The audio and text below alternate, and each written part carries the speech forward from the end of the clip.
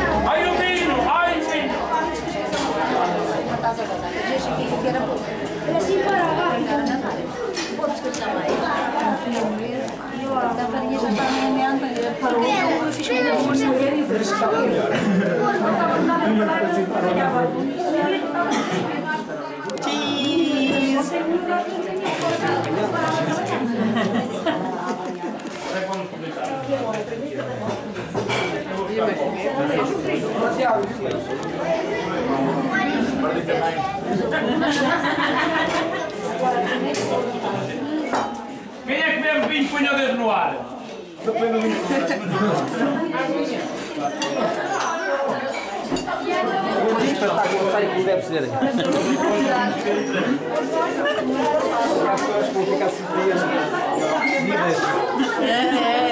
Divas!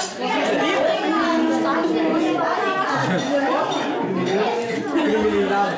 Ah, mas vocês fizeram as vozes para levar uma coisa? Entrou a mulher, estava de baleada. É minha.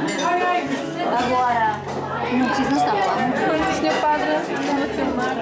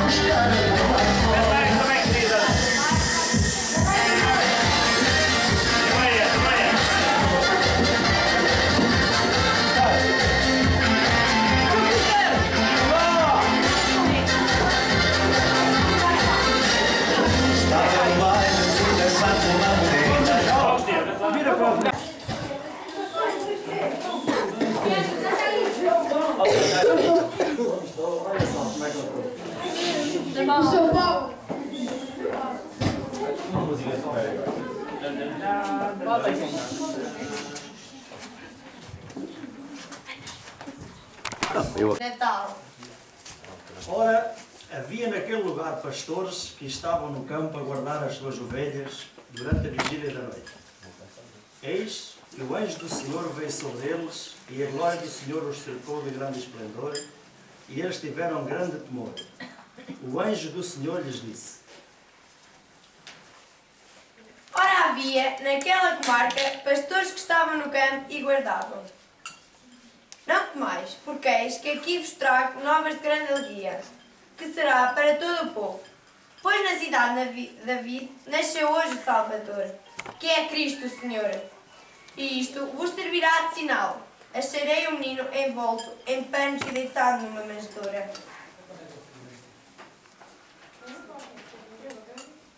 Glória a Deus nas alturas e paz na terra. Boa vontade para com os homens. E depois que o anjo se ausentou para o céu, os pastores disseram uns para os outros: Vamos, pois, até Belém e vejamos isto que o Senhor nos fez saber. E foram apressadamente e adoraram Maria, José e o menino deitado numa manjedoura. Depois que o viram, divulgaram a palavra que acerca dele lhes fora dita. Onde está o nascido Rei dos Judeus, que vimos a sua estrela no Oriente e queremos adorá-lo? Quem o segue jamais andará em trevas. Sou rei e represento todos os reis da terra. É pena, menino, que virão dias em que os reis já não o procurarão mais, preocupados que andam com os tesouros da terra. Eles desconhecem que o maior tesouro és tu. E têm de se lembrar que, pensando em ti, eh, é a coisa mais importante que eles devem seguir. Glorificado sejas, Rei dos Reis, Senhor dos Senhores. Estou tão feliz por participar do teu Natal, menino Jesus. Eu represento a natureza. Terá comigo os mais dourados pôr do sol e as melhores noites enlaradas.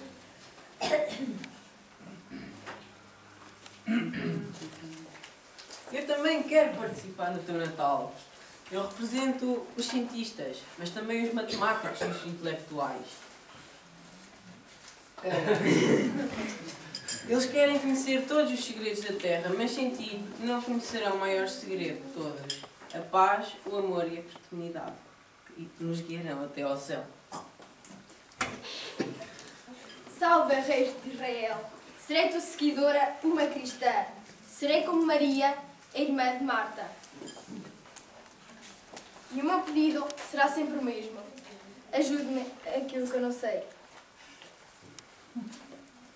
O Natal eterno nasce todo dia nos corações de todos os povos quando aceitam Jesus Cristo, o Rei nascido numa manjedoura em Belém. E esta foi a história de Natal, a mais bonita de todos os tempos. Mas Natal é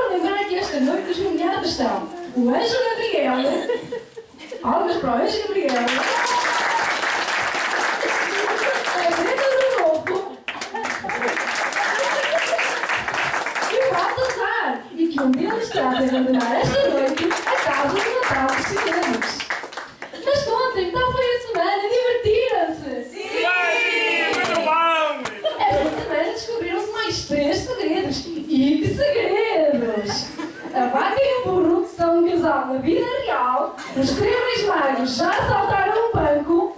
E a Helena Rodolfo tem umas artes postiças. Parabéns, doente! Como é que conseguiu chegar ao segredo da vaca e do burro? Oh, foi muito fácil. O que um zurrava, o outro mugia. O que me deu a certeza absoluta foi aquele ataque de ciúmes do burro quando a rena quis brincar com o badal da vaca. Muito bom! Como quem cala se atrair pelos ciúmes, não confia na sua vaca. Eu confio na minha vaca, não confia naquele Rodolfo. Com aquele, com aquele nariz vermelho, parece que o muro que está com ele inchado. Ah, tens invejoso! Ser invejoso! Nem os cachos que é capaz de capaz de pare! És um burro dos cavernas! Eu investigo! Calma! Você está com muito pressa, vaca! Eu investi dois milhões de silicone no meu nariz! Vocês estão vendo? Ficou perfeito! O teu problema é inveja! Porque já apanhaste a vaca olhar para o meu nariz! Ai, isso é mentira, leva já. Baba, olha isto não calma, isto é só um jogo. Esta é a voz. Burro, não são admitidos comportamentos violentos na casa. Deve pedir desculpa à Rena e dar-lhe um abraço. É tudo por agora.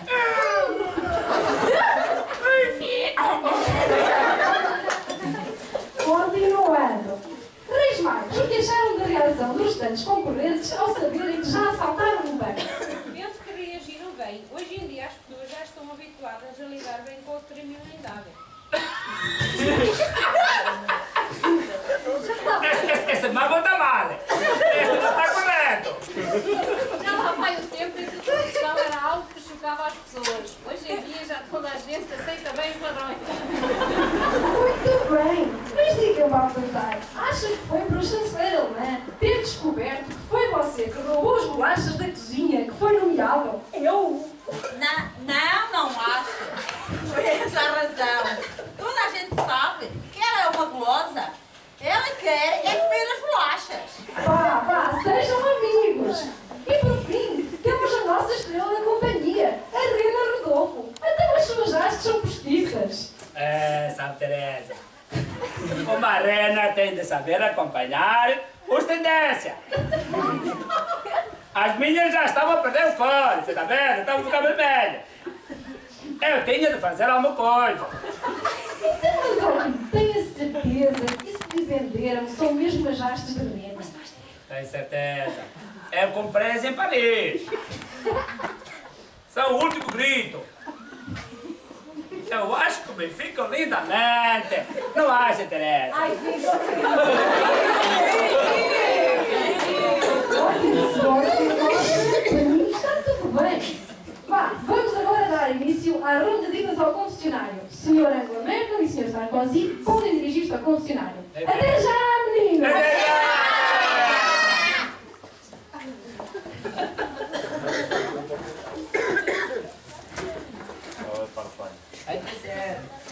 Então, meus queridos, já acham que já alguém desconfia do vosso segredo?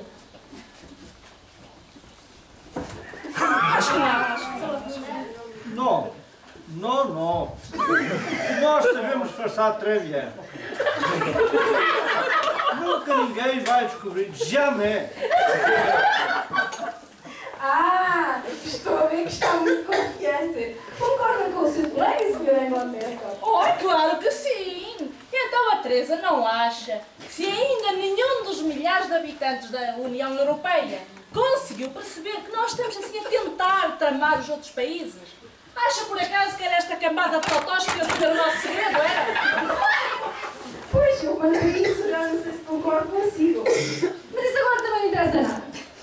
Estão prontos para roubar o vosso segredo? Mais ou menos. Sabato, querida, sabato. Assim, assim. É que a nossa história é uma história muito triste. É triste.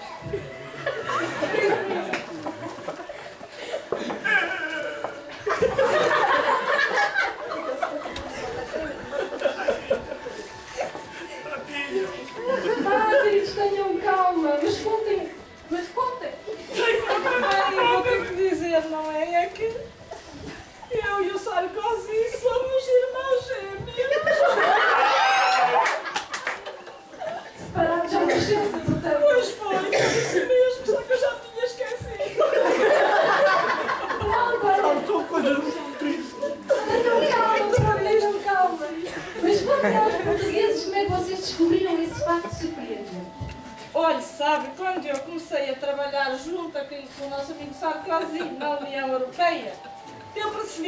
como, assim como eu, ele também queria tramar todo mundo, sabe? Então, olha, eu descobri que com tanta salada russa só podíamos ser mesmo irmãos gêmeos. Eram tantas coincidências e evidências. É emocionante. Dê um abraço. E um dia, na cimeira, nós olhar um para o outro, vimos logo, só num cruzar, num cruzar de, olhar, só podíamos ser irmãos. Imagino, deve ter sido tocante. Ai, muito triste. Pronto, olhem. Manda lá um abraço. Pois, abracem-se. Ó, Teresa, eu posso mandar beijinhos? Vá, adorar, adorar, não temos tempo. Ai, eu estou pronta. Olha, eu quero mandar beijinhos para o Sr. Presidente da União Europeia, quero mandar beijinhos para a FMI, quero mandar beijinhos... pronto, pronto, já chega, já chega. Até para a semana, vão lá e chamei Maria e José. Adeus, beijinhos, Vamos adeus, embora, adeus. vamos embora.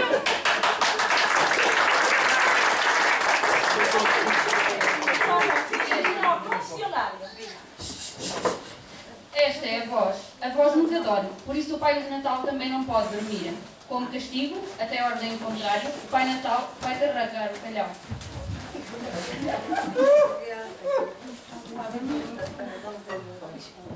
Eu também adoro. É, favor ao Pai Natal fazer uma ligeira passagem do Deus aqui à frente para que o público aprecie o seu castigo. E mostre portanto, o calhau. Eu não sou o calhau É dele. a nossa versão do livro. Eu queria ser calhau dele, ele não deixou. Muito pesado. Parabéns a que o quebrar do Pai Natal.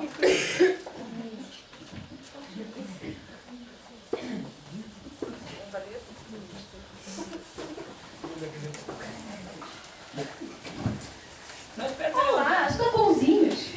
Sim. Então, Maria, está tudo a correr bem? Já sabe de onde vai nascer a criança? Teresa, está tudo a correr bem, obrigada. O médico diz que deve ser para dia 25 de dezembro. Quem diria? Pronto, ainda bem.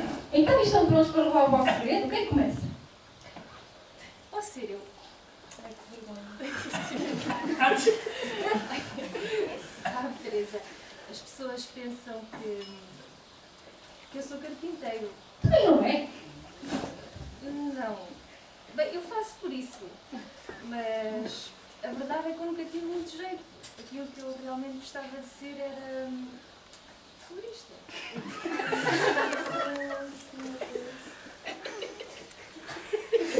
Está a ver, Teresa, o que eu tenho que aguentar?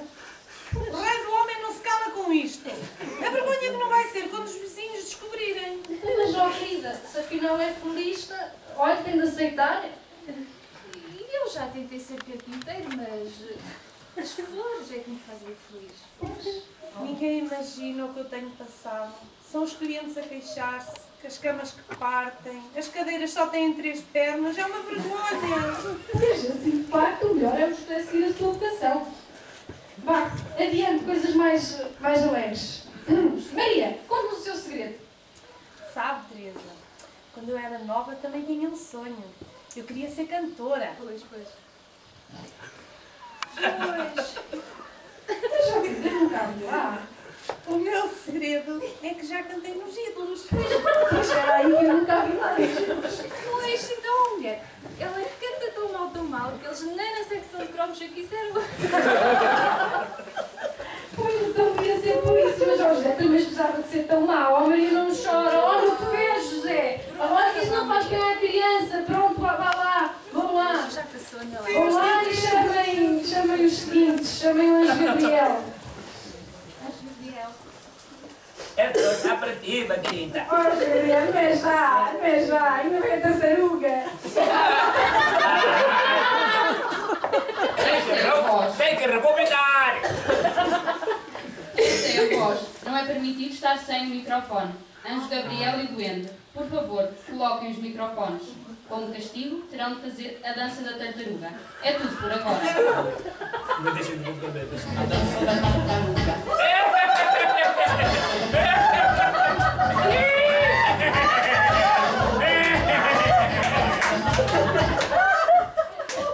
Esta é a voz. Por estarem a troçar os vossos colegas, todos terão de fazer a dança da Até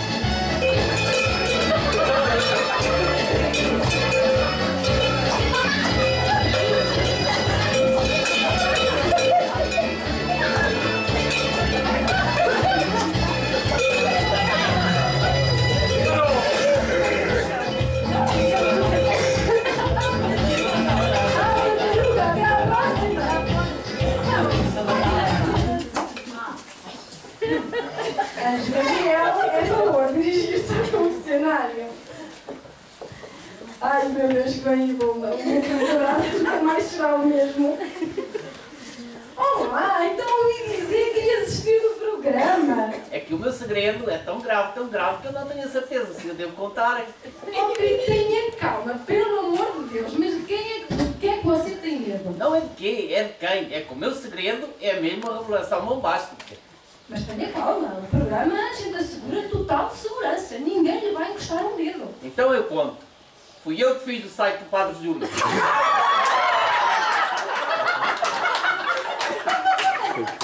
O padre Júlio, o primeiro padre português a pôr um site na internet, hã? Quem diria? Essa é brava padre. Percebe patamina de internet. Não percebe. Nem de computador. Nem de computador, ai que desgraça. Estou chocada.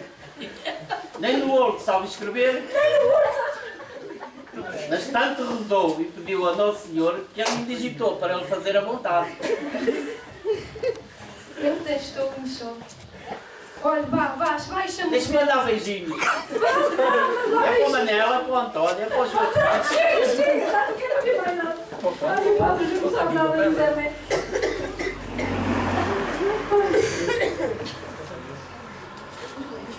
Já não sei.